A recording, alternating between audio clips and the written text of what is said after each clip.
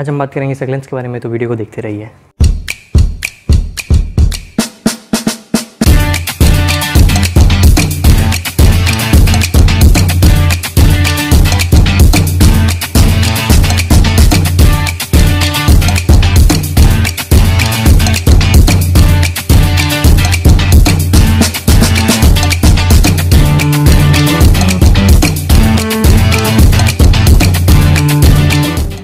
Hello Gardner's मेरा नाम है Siddharth and welcome to three plants तो आज की वीडियो में हम बात करने वाले हैं सक्यूलेंट्स के ऊपर। तो सक्यूलेंट्स होते क्या है?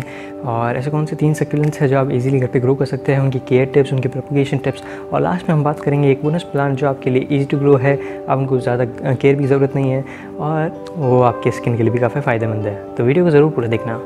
तब बात करते हैं सेक्रेंस के बारे में क्या कि सेक्रेंस क्या होते हैं? और मैं इतनी बार नाम नहीं ले चुका हूँ सेक्रेंस के बारे में। चलिए स्टार्ट करते हैं। तो सेक्रेंस सिंपली कुछ ऐसे प्लांट्स होते हैं जो आ, मतलब काफ़ी जाड़े होते हैं जाड़े होते हैं।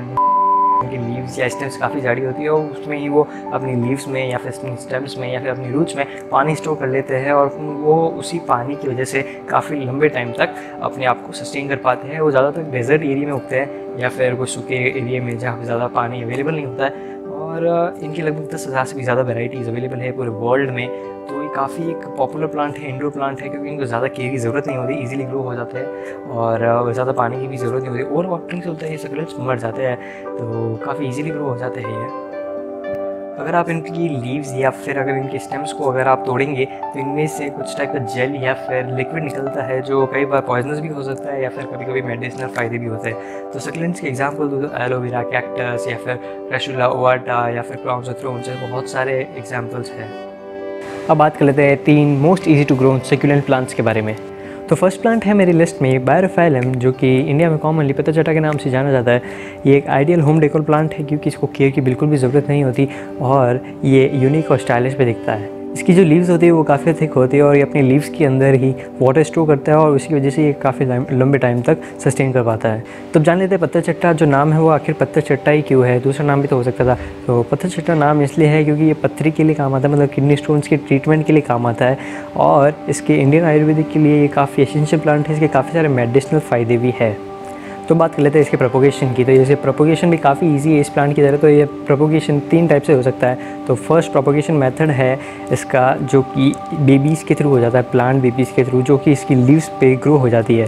तो जब ये प्लांट बड़ा हो जाता है तो जो इसकी लीव्स पे प्लांट बेबीज़ या प्लांट बर्ड्स उग जाते हैं, और जब वो ज़मीन पे गिरते हैं, तब इस उन बेबीज़ के थ्रू ही एक नया प्लांट उग जाता है। सेकेंड तरीके की बात करें तो सेकेंड तरीके में आपको उसकी जो एक पत्थर चट्टा की एक लीफ चाहिएगी और उस लीफ को अगर आप सॉयल में रख देंगे थोड़े दिनों तक तो उसमें से भी आपकी रूट्स ग्रोन हो जाएगी और उसमें से भी आपका एक बड़ा प्लांट उग जाएगा उसमें थोड़ा टाइम लगेगा, लेकिन ग्रो हो जाएगा। और तो थर्ड और लास्ट तरीके की बात करें तो वो है स्टेम के थ्रू ये आप इसकी स्टेम कटिंग करते हैं और स्टेम कटिंग करने के बाद आप इसको अगर एक सॉइल में मतलब सॉइल में डाल देते हैं तो ये इजीली ग्रो हो जाएगा।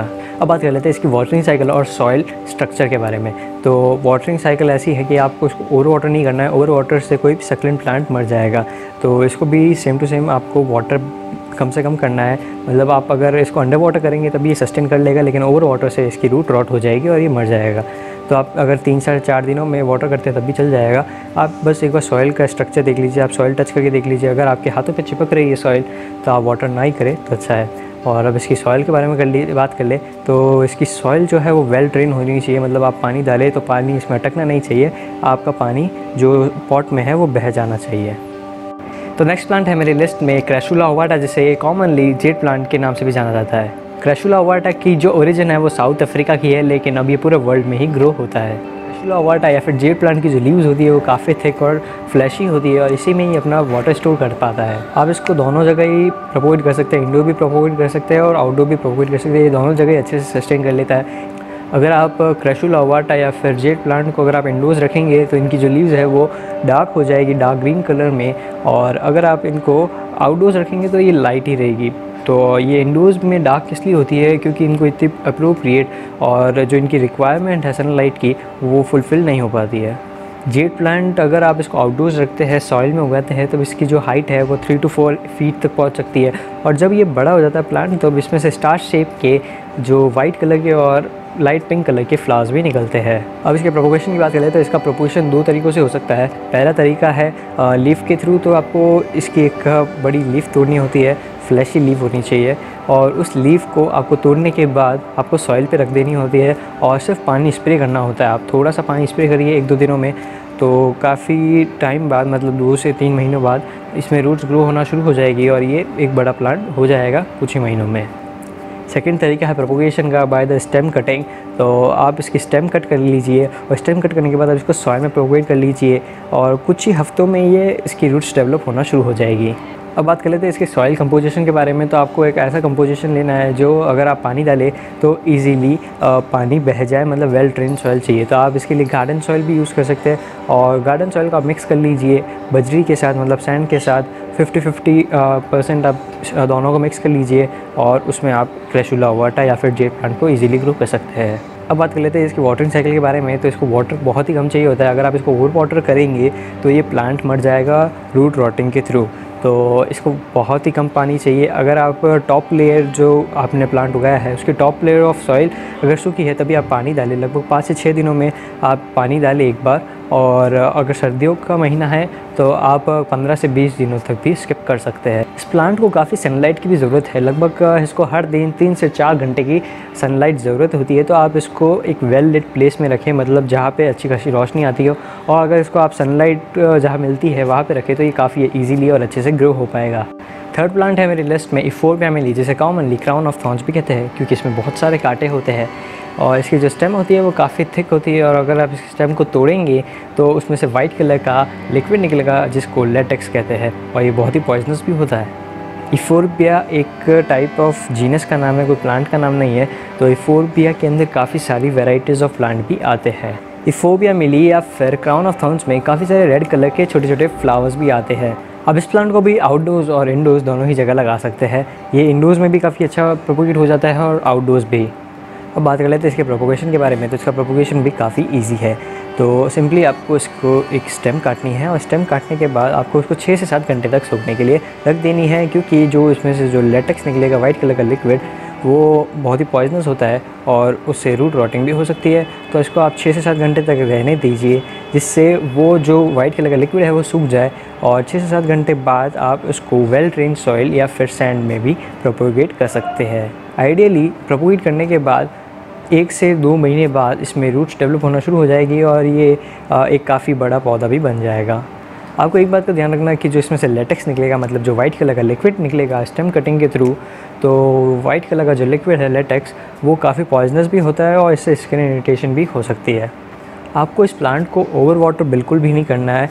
क्योंकि अगर आप इसको ओवर वाटर करेंगे तो इसकी स्टेम बिल्कुल गल जाएगी पानी के थ्रू और ये प्लांट प्रोपोगेट नहीं हो पाएगा ईजीली और इस प्लांट का बेस्ट पार्ट ये है कि इसके जो फ्लावर्स आते हैं, वो छोटे छोटे रेड कलर के, वो आपको पूरे 12 महीने तक देखने को मिलेंगे। मतलब ये सीजनल प्लांट नहीं है, ये पेरिनियल प्लांट है।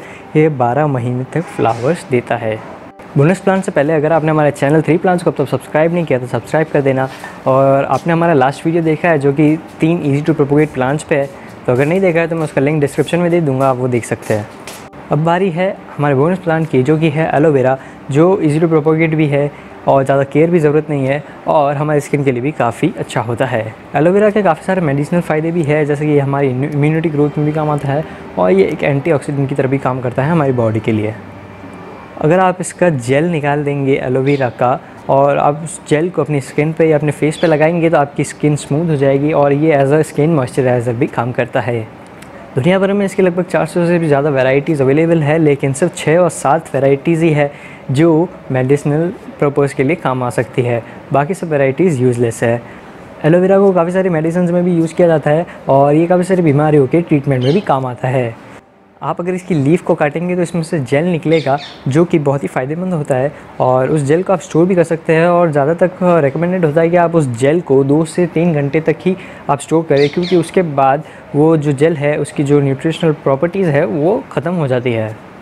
अब बात कर लेते हैं इसके प्रोपोगेशन के बारे में तो ये प्रोपोगेशन भी काफ़ी इजी है। सिंपली आपको एक लीफ तोड़नी होती है एक बड़े पौधे से, और उसको आप अपने छोटे या फिर बड़े जहाँ पे भी आपको उगाना है, वहाँ पे आप डाल दीजिए, और कम से कम एक महीने बाद आपका वो प्लांट उगना शुरू हो जाएगा, और तीन से छः महीने में वो अच्छा प्लांट हो जाएगा। इस प्लांट को काफ़ी सारी सनलाइट की ज़रूरत होती है तो ये रिकमेंडेड होता है कि इस प्लांट को आप अगर इंडोर्स नहीं रखें आउटडोर्स रखें, या फिर एक ऐसी जगह रखें जहाँ पे काफ़ी सारी लाइट आती हो। और अगर आप इसको दो से तीन घंटे की सनलाइट दे दें तो ये काफ़ी अच्छे से ईजीली ग्रो हो जाता है। एलोवेरा क्योंकि एयर ब्रीथ करता है अपने सराउंडिंग के थ्रू तो अगर इसकी एयर क्लीन होगी आसपास की तो ये इजीली और फास्ट ग्रो करेगा। लेकिन अगर ये पोल्यूटेड एनवायरनमेंट में है तो इसकी जो ग्रोथ है, वो फ़र्क पड़ेगा। तो बस, आज के वीडियो के लिए इतना ही। अगर ये वीडियो आपको अच्छा लगा है तो अपने दोस्तों के साथ शेयर कर लीजिए। इस वीडियो को लाइक कर लीजिए और हमारे चैनल को सब्सक्राइब कर दीजिए। और थैंक्स फॉर वॉचिंग